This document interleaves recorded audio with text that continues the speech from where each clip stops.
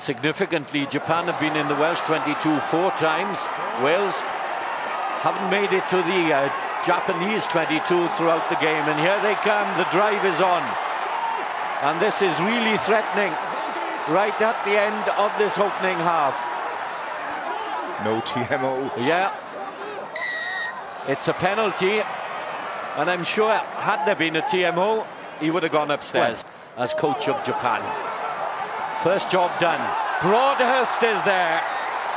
First try, no one can argue. Japan deserve it. Well, that's just excellent decision making. They don't go for the drive. It's a little pop pass to the big flanker coming around. It's two against one, a little show and go.